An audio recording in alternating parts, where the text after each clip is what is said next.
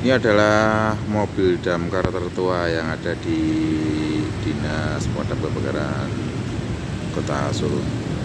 Ini adalah Isuzu bensin tahun 1961. Isuzu bensin ini masih bisa nyala, teman-teman.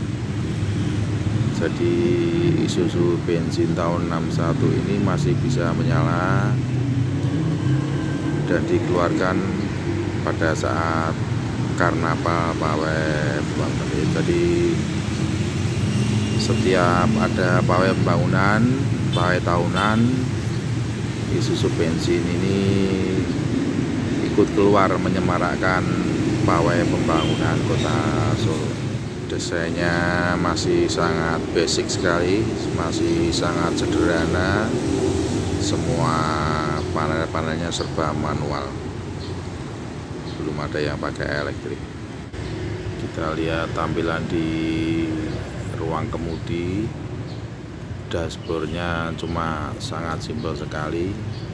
Belum banyak tambahan peralatan-peralatan elektronik seperti yang ada pada mobil-mobil yang era sekarang. Ini masih original belum tidak-kudak setirnya masih original sampai cuil-cuil begini. Huh?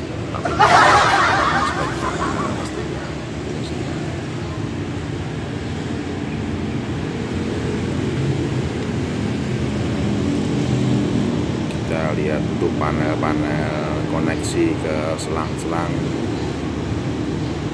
Masih sangat klasik sekali bentuknya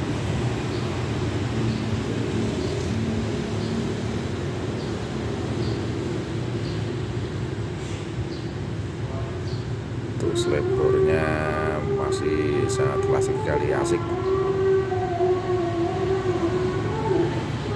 Masih menunjukkan kesan-kesan klasiknya pada mobil era 60-an